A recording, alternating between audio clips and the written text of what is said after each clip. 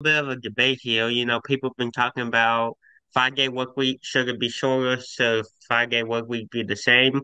You know, and it's been about about 50-50 on that. But I want to get your opinion on that, Evan. What do you think about it, man?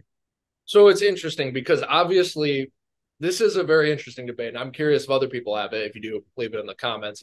Um, I don't know if there's a correct answer. So I think with like as you've seen with COVID and all that, a lot of people's work, you know, even their long time jobs, like my mom's schedule got a little mixed up. She was at that company for 20 years, or just people, you know, essential workers who are working at grocery stores and stuff like that. Of course, like my friend Jake. Um, you know, their schedules got mixed up a little bit. And you you know, I also worked at Amazon where their full time is considered four days. It's not five days, but it's 10 hours each day. So it's still technically the 40 hours.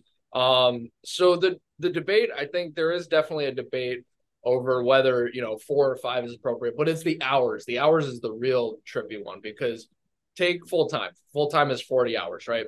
There's 168 hours in a week. So that's about, I did the calculations, that's about 23%. So that's not re- like 40 hours sounds like, oh my gosh, 40 hours, right? That's not really that much of your time when you take into account sleeping and all of that, of course. Um, you know, so I think uh, I I probably prefer the normal five day a week because it's simple, right? You just you go to work five days and then um and then you're done. Of course, it depends on the job, right?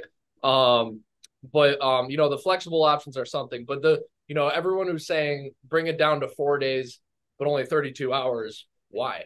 Like what I'm wondering is why? Because I get it would be really nice, right? Like like a whole less day of work, right?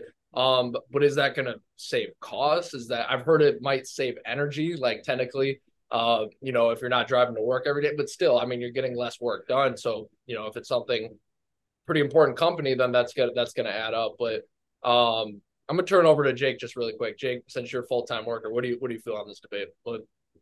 Yeah, I mean, I, I I agree with you. I mean, you keep it simple, five day work week. You know, um, people say bring it down to four days, 32 hours, but I don't get it because it's less money. It's less money. Um, but yeah, I just think you keep it at the five day work week. I think you get a lot done in five days, and think that you know just keep that five days. Just should be simple.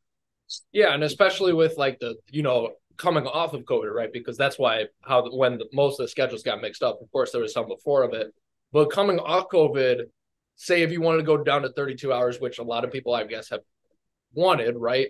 Um, well, wouldn't that have the opposite effect? Because we're already short staffed. So you're you're telling people don't show up for eight more hours, and they're right. They're they're going to be even more short staffed. So you know, um, Jake who works the nights, he's going to be like, well, one less night for me. But you know, grocery stores and everything, even just big corporations, y'all need it. But um, so I think yeah, just to cap it, I think it's a fair debate.